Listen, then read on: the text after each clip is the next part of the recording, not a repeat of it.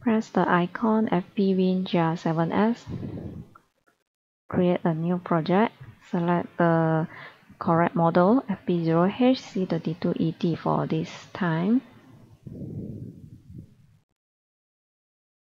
Then here are the function of the PLC like positioning table, Ethernet setting, FTP setting and so on. And here are the program block. You may put more than one program block like input or change the name of the program block. And here are the function bar for programming. Here are the IO command list. Here you can see all the device here like X is input, Y is output, R is internal relay, special relay, and timer, counter, link relay. And input in word, output in word, relay in word, special relay in word, and so on. DT is a data register that normally we store data or reading. So for this this FP0H PLC come with 32 I.O. So the I.O. with PLC is from X0 until XF for 16 input, 16 output from Y0 until YF. If you have additional expansion unit, the expansion unit address will start from X100 until 11F. Total 32 input. And output will be for expansion unit will be start from 100 y100 until y11f total 32 output. Okay. So Normally we will start our program with contact. So this is contact symbol. We can directly press here or press function 1 F1 as a shortcut key. So F1 then X0 input and then we will make a coil. Coil is this one, this symbol or F4 then y0 output. So this is the contact. This is the contact that we want to link below here. Then we press F2 or this one. F2 and then X1. So it will make a straight vertical line automatically. Or you can make your vertical line yourself then press this one or F3 it will link this. So this is coil and this is timer or counter. Inside timer counter there is 0.1 second timer 1 second timer 0.01 second timer or 1 millisecond timer. This one is counter. So if you don't want to input any timer just escape. And this is function or F6 so here are all the functions you may use when doing your programming. And this is a horizontal line, like you want to link this horizontal line, you can press this one or F7. If you don't want, just back, backspace, backspace or delete. This is not or F8 not means if like this one x0 contact is on. If I want detect the off one then press F8 for the not x0 meaning we will detect the x0 off signal and and make this coil output. After you press F8 there is green color. You must click enter to insert else it will escape. So next is set and set reset. Falling edge of rising edge. Compare. Compare is this one.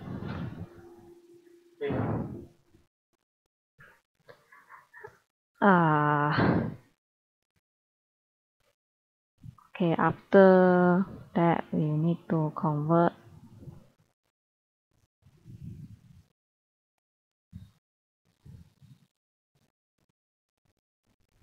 okay if want to set using set will be this one or shift F1 and Y2 or you want to reset this one or shift F2 Y2 this one means X0 will set Y2 X4 will reset Y2 if you want using the falling edge or rising edge you can press this one for rising edge. Press another time for falling edge or shift F3 for falling edge. Enter. And this one ah sorry this one is rising edge this one shift F3 again shift F3 is rising sorry falling edge enter. So this is rising and this is falling. There's another function called keep. It's same with set and reset. So we may input the function using function instruction f6 then keep is kp this one. Insert so. We need to put the input first. And then function.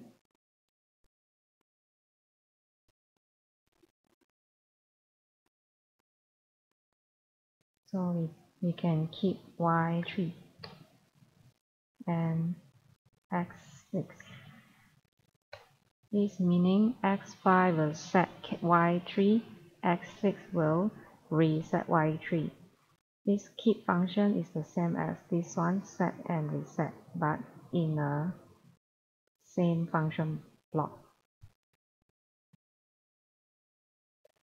So if you want to do some function like addition or subtraction, you may use this special function relay with a comment like always on what we normally use or always off. And the initial on pulse relay this one is when you power on the PLC it will give you a pulse to indicate uh, power on off and the clock pulse relay so for now we want to use the always on relay R9010 so from here we type R9010 want to do a addition. Addition is this one uh, binary arithmetic instruction. This one is 16 bit plus double word 32 bit plus uh 16 bit subtraction 32 bit subtraction and the multiplication and also division. So like this one I want to do double word 32 bit addition. For this one is S plus D then input in D. But the one I want to use is S1 plus S2 equals to D. So insert so you may put dt 1000 plus a constant 5 to dt 1002 so this is the addition function or you want to do a incremental function also in binary.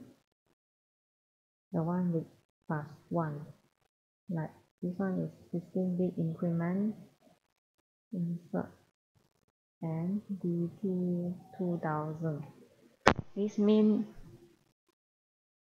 sorry this is a bad example. Yeah.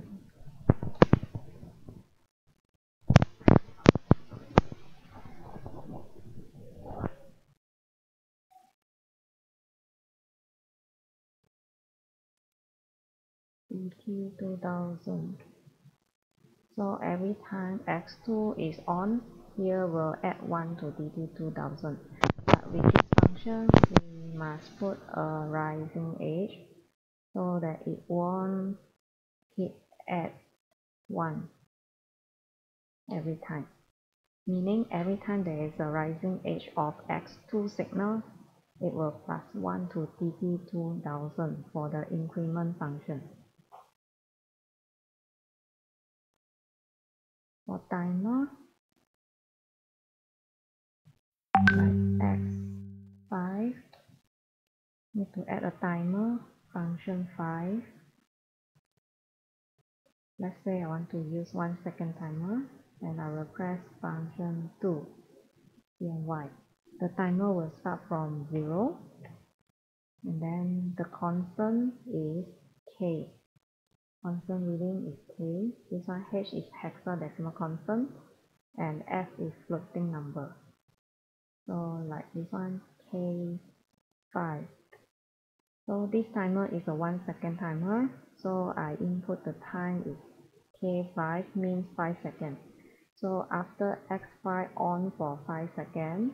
So we will set the timer time T0 and we will do some action maybe we set Y6 so when X5 is on for 5 seconds timer down then we will set Y6 so this is example of timer.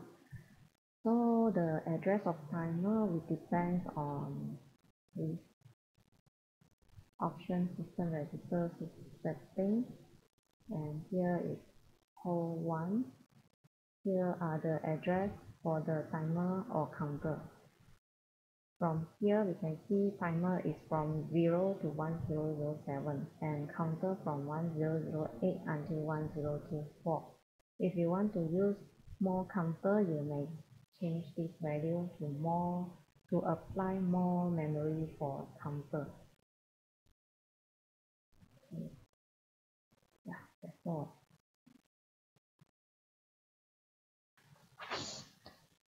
after program you can you may need to convert your program. Convert means compile your program and then if there is error it will show at the it will show at this output window. For this is no error then everything is okay. And then you can download your program to PLC this one is download and this is upload. This is go to online and go to offline. And you can do the IO command here like this is WAF 2 enter. Or you can change the command here also like y2 WAF2 so this the the one with star means is used. Like timer, timer zero use.